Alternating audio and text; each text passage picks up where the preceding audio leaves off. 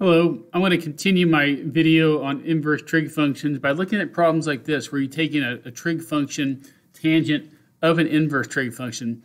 This looks really hard, but it's actually not. Um, the first thing that you need to do here is you have to recognize that an inverse trig function is always an angle.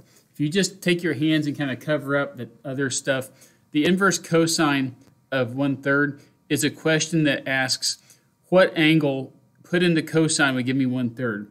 So if you recognize that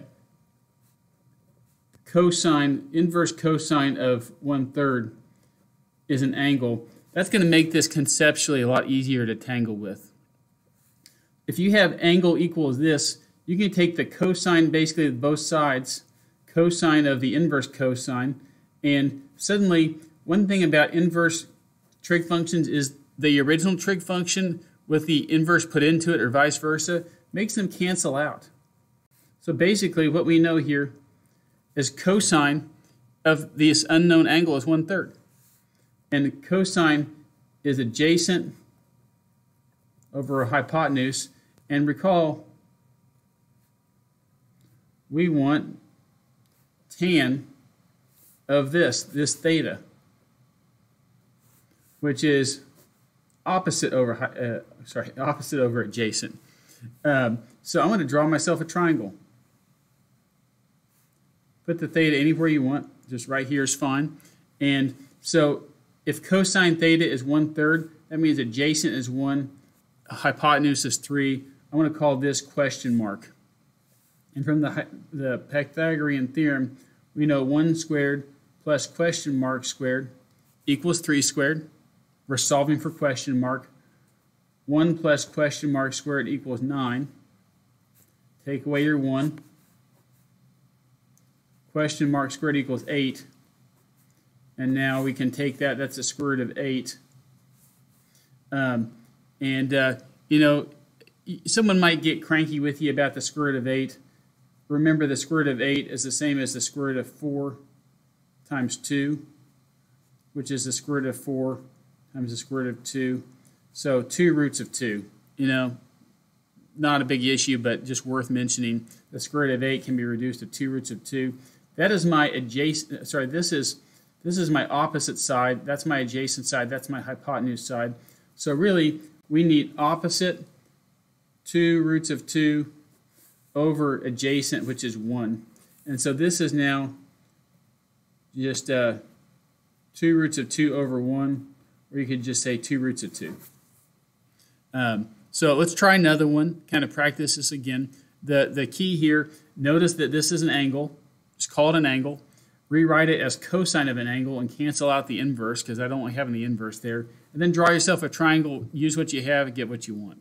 And then tangent of that angle for us was, you know, opposite over adjacent. Let's try another one.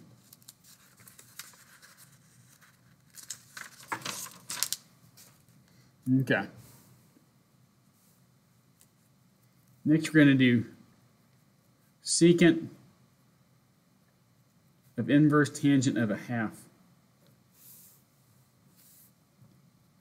First thing is to say note theta theta equals inverse tangent of a half. I know that because an inverse trig function is always an angle. So I'm just going to call that theta.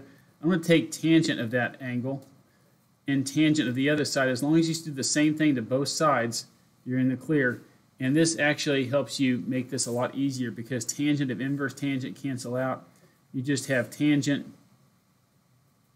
equals 1 half.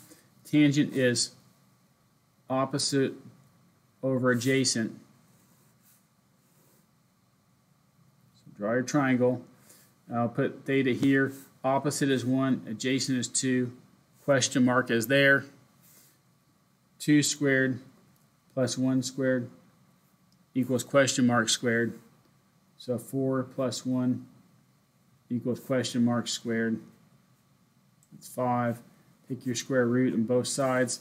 And this is the square root of 5. So now we wanted secant of this. And secant is the reciprocal of cosine, which is going to be hypotenuse over adjacent. That's what secant is. And then, so hypotenuse is going to be root 5. And adjacent is going to be 2. So it's root 5 over 2. This is root 5 over 2.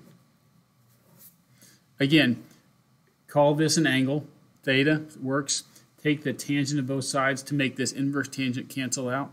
And then you have tangent theta equals a number. Stick it on a triangle. Find the other side.